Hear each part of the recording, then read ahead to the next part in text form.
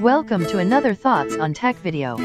Today we start a series about the Rylo, a 360 degree camera that one can assume has simplicity in mind. Starting on the outside you find only two buttons and one small monochromatic display. The button on the top let you turn the camera on and off and start and stop recording. The one on the front let you swap between photo and video mode. On the screen you see only the strictly necessary information.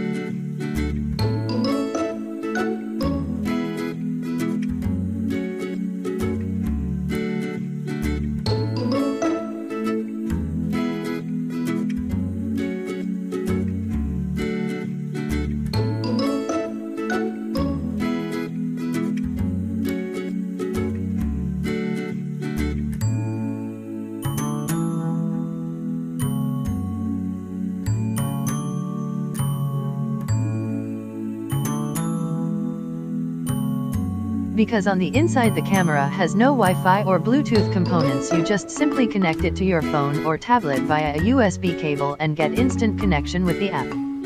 No need for, sometimes complicated, wireless connection processes.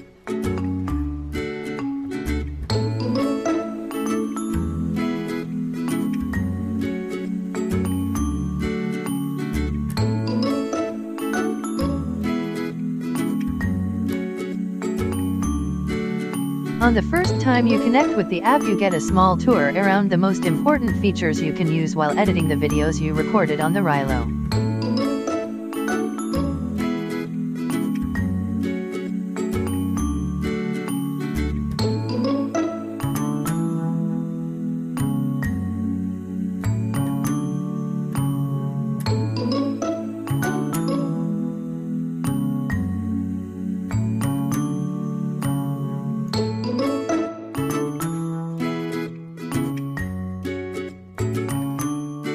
When it gets to camera settings you are able to choose the video quality and turn the sound signals as well as the vibration from the Rylo on and off.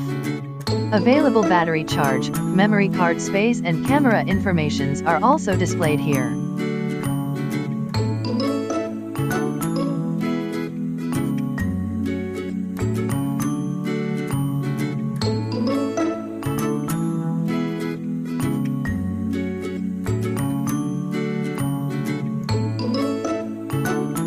Because the camera is wired to your device you can see here how fast a video is transferred.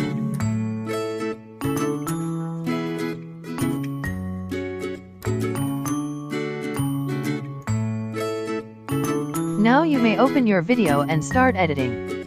As it was explained on the screen you tap to get the video rolling and can swipe left or right to look around. The radar symbol on the bottom left shows in which direction you are currently looking.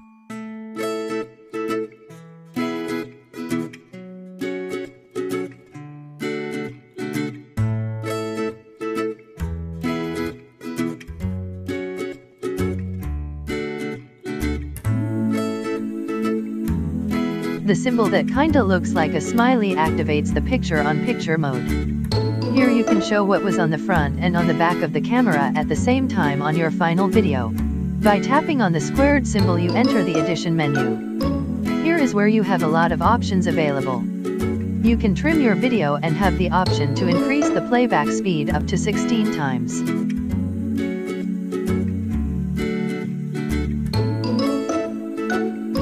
Inside the tune menu you got the chance to change the light, contrast, highlights, shadows, vibrance and tone of your footage.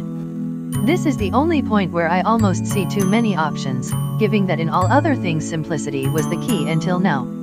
But one can just leave it as it is and don't get overwhelmed. The level menu lets you adjust the horizon line. The camera levels automatically but if you think your horizon is not leveled correctly you can adjust it here. The crop menu lets you crop your image, you can pinch to zoom or choose the predefined portrait, square, native, wide or cinema settings. If you press the icon with the arrow on the upper right corner you are able to export your edited video. You can do it in HD or 360 degree format and with or without sound. And that is pretty much it. As you see you don't need a powerful computer to see and edit your 360 degree video. You can do it on the go and in a simple way on your phone or tablet with the Rylo.